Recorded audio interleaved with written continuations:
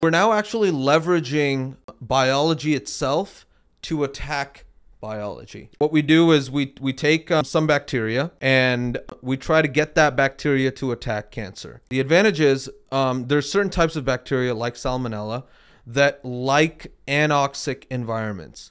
So environments that don't have a lot of oxygen. Tumors tend to have not a lot of oxygen, especially at their core, because the blood vessels are on the periphery, and at the core, the oxygen is getting to it. So the bacteria naturally are like, "Ooh, I like Yeah, that," yeah, yeah, and then they get to the core, and then they start sort of, you know. Yeah. The problem with that is they get to the core, but they're not really attacking the periphery, and they're not attacking like maybe a metastasis that happened somewhere else. And the other problem, obviously, is like, okay, bacteria, like you're literally giving me salmonella, right? yeah, yeah, you can like you can you can genetically engineer and everything, but like It's still bacteria. it's you're giving me a pathogenic bacteria, right? And there there's a risk of um, systemic infection and dose related toxicity. The other way to approach this problem is with viruses. Okay, you have something called oncolytic virotherapy, where you take viruses that attack cancer cells and you inject that Mm-hmm. into the patient, right?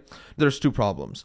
One is the delivery challenge. Okay, you got to really get into the tumor and like and like put that in there. Inject direct. Okay, inject direct. So if there's a tumor that's very very deep, yeah. out of luck. And the other thing is the immune system of the body has already been primed with a bunch of viruses that you've seen over the years, right? So the immune system itself is going to be like, "You're not Yeah, getting yeah, in. yeah, what are you doing?" and then and then the the immune system is going to attack that virus, right? Makes sense. So this particular therapy called the capsid, Yes. this particular therapy is getting the best of both worlds.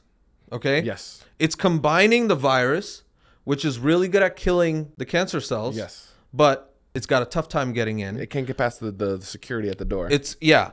So a virus is becoming like the Greek soldiers inside the Trojan yeah, horse, yeah, yeah, yeah. and the bacteria becomes a Trojan, Trojan horse. horse. Okay, because the bacteria has an easy time getting into the center of the tumor, right? Mm. And it knows where to go because of the anoxic environment. It's seeking this place without any oxygen. So what what this team at Columbia Engineering is doing is combining both of those therapies Yes. to give this like two-pronged approach. Target the tumor Yes.